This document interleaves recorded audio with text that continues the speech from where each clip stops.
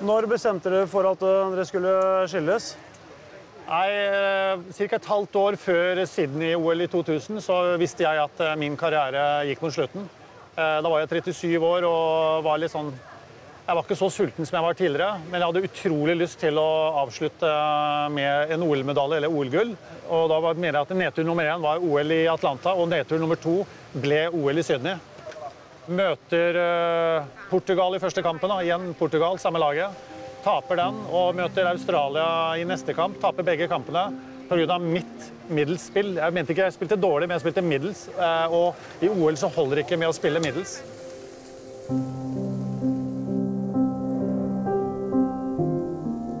Og jeg står på stadion og gråter i ti minutter, og jeg er så langt nede. For det, var, det skulle være min avslutning etter en lang karriere, og vi mente selv vi hadde kvaliteter til å komme til semien. Men jeg synes det var tøft med at Jan fikk en såpass eh, tøff exit fra sitt lange profesjonelle liv.